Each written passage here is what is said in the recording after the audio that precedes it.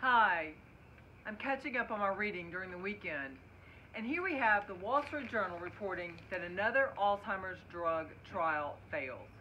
These pharmaceutical companies are trying to go after one main cause, plaque on the brain, but they've got it all wrong.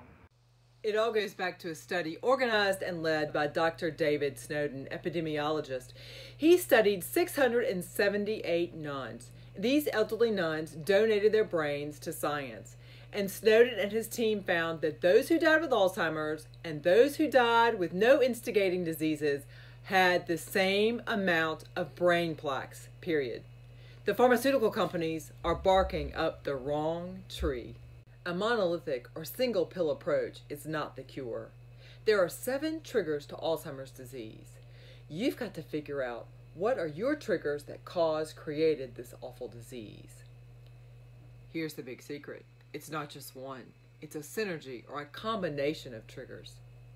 For a list, I've included a free, of course, I've included a link.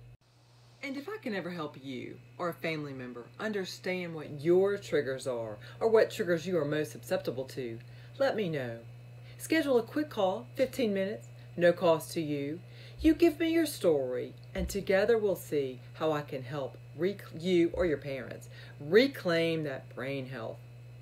I'm Janet Rich Pittman a former dementia administrator and dementia practitioner, now serving as a brain health specialist, concentrating in dementia prevention and dementia reversal. Let me know if I can help you.